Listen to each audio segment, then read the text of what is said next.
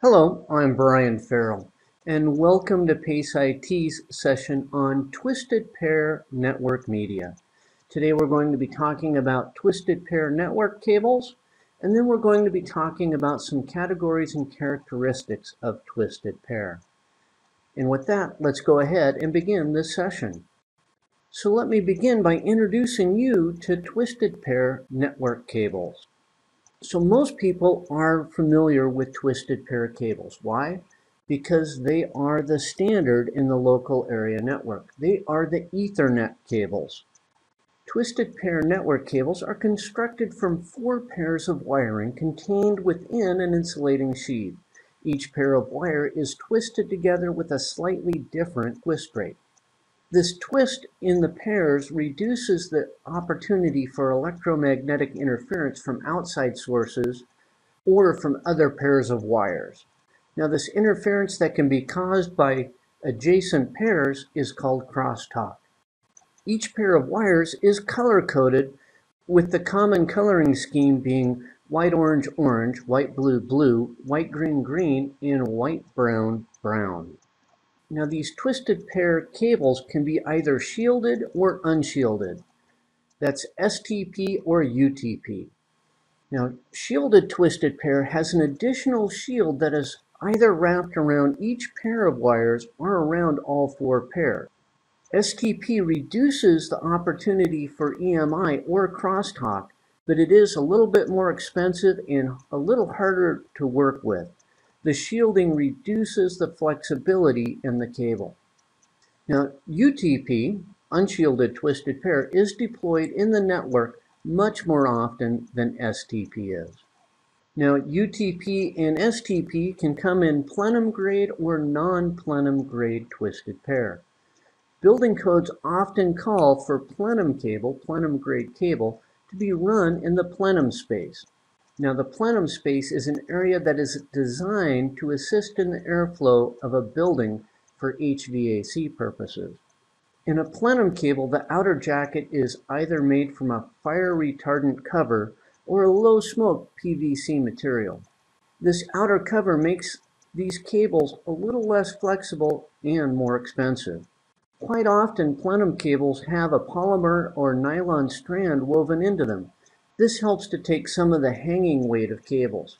This reduces the chance for cables to stretch, which can cause the pairs of wires inside to break.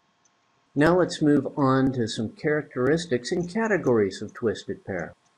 A twisted pair network cable is designated as either being a straight through or a crossover cable.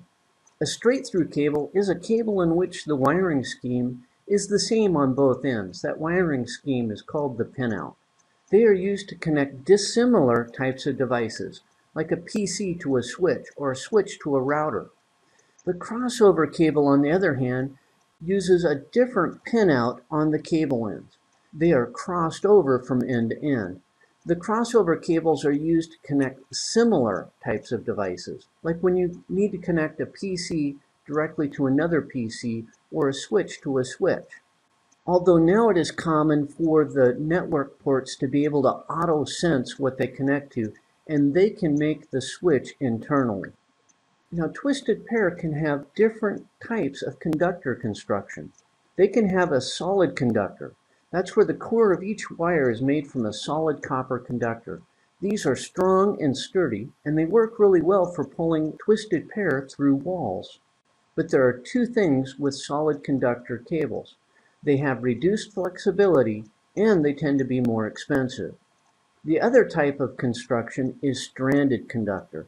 The core of each wire is made from small thin strands of copper that are twisted together.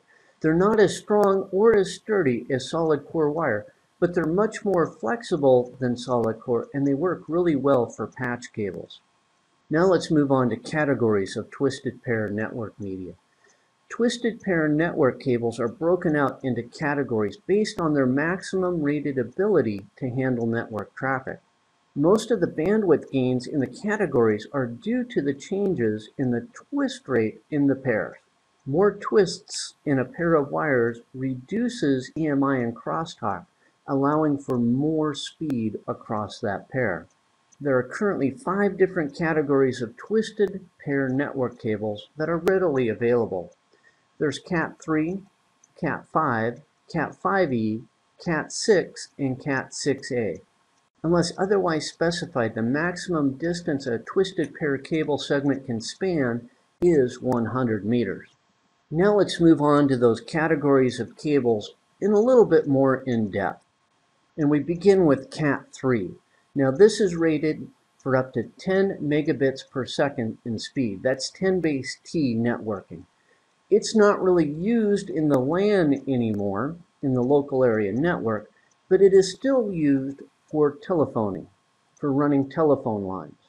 Cat3 was replaced by Cat5, which is rated for up to 100 megabits per second in speed.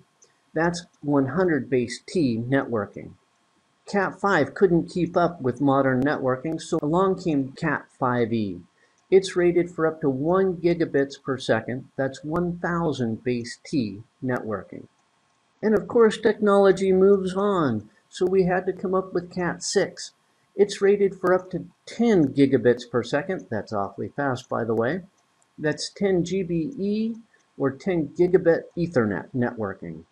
Now to achieve that 10 gigabits per second speed, your maximum cable length on a Cat 6 cable could only be 55 meters. Well, they'd found that wasn't quite long enough, so they came up with Cat 6A.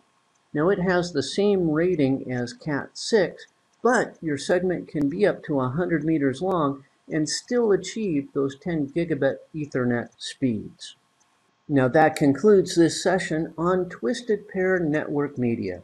We talked about Twisted Pair network cables, and then I went into some characteristics and categories of Twisted Pair. Now on behalf of PACE IT, thank you for watching this session, and I'm looking forward to doing another one.